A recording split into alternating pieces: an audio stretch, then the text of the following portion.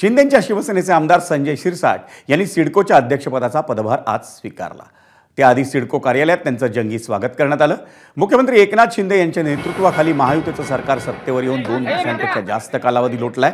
पण या कालावधीत शिरसाट यांचा राज्य मंत्रिमंडळात समावेश झाला नाही. आणि आता तर आगामी विधानसभा निवडणूक ही तोंडावर आलेली आहे. त्या पार्श्वभूमीवर मंत्रिपदाच्या प्रतीक्षेत असलेले आमदार संजय शिरसाट यांची महामंडळावर वर्णी लावण्यात आली.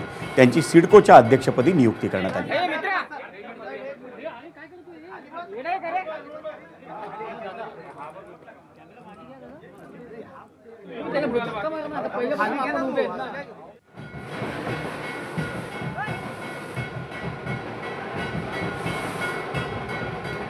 ए मित्रा!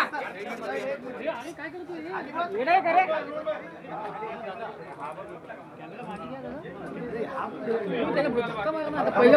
जर सिडकोचा फायदा होऊन ते होत असेल चांगल्या पद्धतीने तर ते करायला हरकत नाही परंतु ते लोकांच्या समोर पहिले गेलं पाहिजे.